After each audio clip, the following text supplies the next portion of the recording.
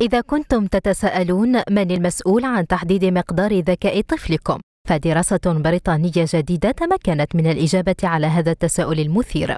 فباحثون في جامعة جلاسكو توصلوا إلى نتائج مبهرة في هذا المجال وأكدوا أن النساء أكثر ترجيحا لنقل جينات الذكاء لأطفالهن لأنهن يحملن الكروموزوم المعروف باسم إكس ولديهن اثنان منه بينما لدى الرجال واحد فقط.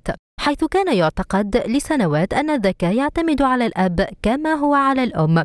وبما أن المرأة تحمل اثنين من الكروموزومات إكس حيث توجد جينات الذكاء ومن خلال تجربة أجريت على فئران معدلة وراثيا تبين أن تلك التي أعطيت جرعة إضافية من جينات الأمهات طورت رؤوسا وأدمغة أكبر لكن أجسامها كانت ضئيلة والتي أعطيت جرعة إضافية من جينات الأب كانت أدمغتها صغيرة وأجسامها أكبر. لكن الباحثين لم يجدوا أي خلايا أبوية في القشرة المخية وربما يعطي الوالد بعض جينات الذكاء لكن الدراسة تقول إنها لن يكون لها تأثير في الدماغ.